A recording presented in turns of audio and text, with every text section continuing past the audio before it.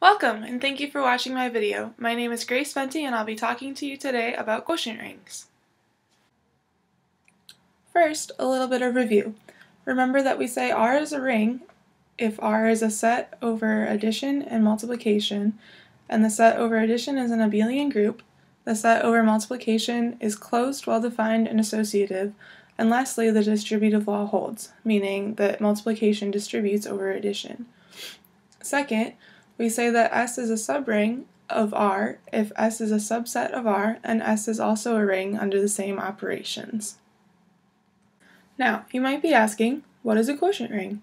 Well, similar to quotient groups, a quotient ring is a set of cosets. So, if we have a subring S of R, then we can take any element in R and add it to our subring S.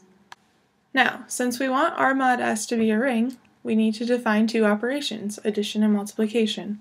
So we're going to say that if we add two cosets, so maybe a plus s plus b plus s, then that's really just adding a plus b and then adding s. And similarly, we're going to define multiplication of cosets, so say we're multiplying a plus s times b plus s, and that's really just going to be a times b plus s. But now we have to check if this is really a ring under these operations. Alright, in order to show that R mod S, our quotient ring, is actually a ring, we first have to show that our quotient ring over addition is abelian, and that our quotient ring over multiplication is closed, well-defined, and associative.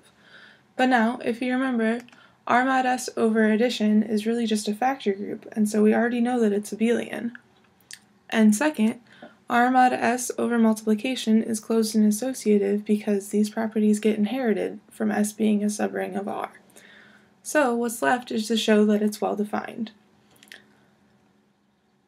This means that if we take two representations of the same element and we multiply them, then they behave the same way. So we're going to let a plus s equal a prime plus s and b plus s equal b prime plus s. Well, we can write a plus s times b plus s equal to a times b plus s, and that just comes from our definition of multiplication. And we also know since a and a prime are in the same coset, well then we can write a prime as a plus s1, and we can, since b and b prime are in the same coset, we can write b prime equal to b plus s2, where s1 and s2 are some element in s. So in order for it to truly be well defined, we want a prime times b prime equal to a times b and then plus some element in s, and that'll show us that they're in the same coset. Well, we can just sub in for a prime and b prime, so we get a prime times b prime equal to a plus s1 times b plus s2, and then we can FOIL, and now you see we have our a times b, and we have some element in s, but we don't know about those two terms in the middle, whether or not they're in s. And so we need f's to have some additional property to guarantee that these two terms end up in s, and that leads us to the term of an ideal. Now, we say that I is an ideal of R if I is a subring of R, and if we can take any element in I and any element in R and multiply them and get something in I. So put a little bit more formally, if I is a subring of R, then for every R in R, we have R times I, a subset of I, and I times R is a subset of I. Going back to the problem we had before, now we can see that if S is an ideal, A times S2 has to be an S, and S1 times B has to be an S.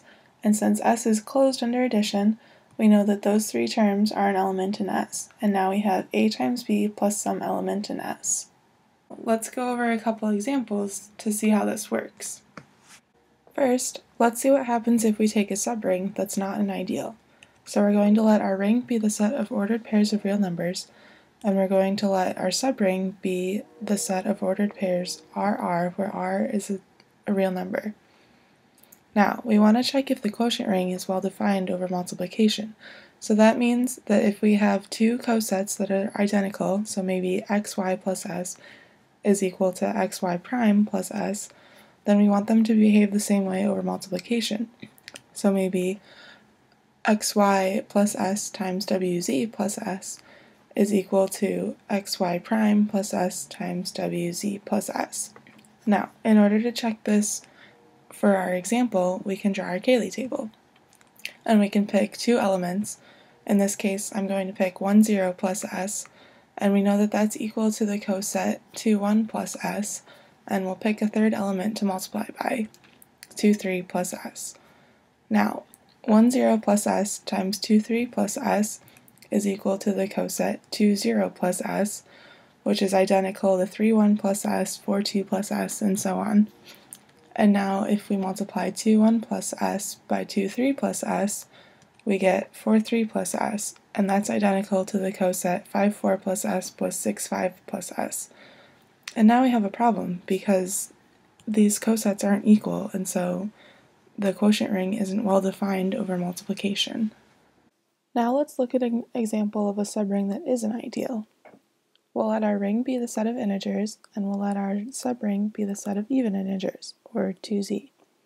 Now if we take any element in z and multiply it by 2z, we're going to get something in 2z. So we could take 0 times 2z and just get 0. We could take 1 times 2z and get the set negative 4, negative 2, 0, 2, 4, and so on. We could do the same thing for 2, but we get negative 8, negative 4, 0, 4, 8, and so on and we could just keep going, and hopefully you see that we always get a subset of the set of even integers.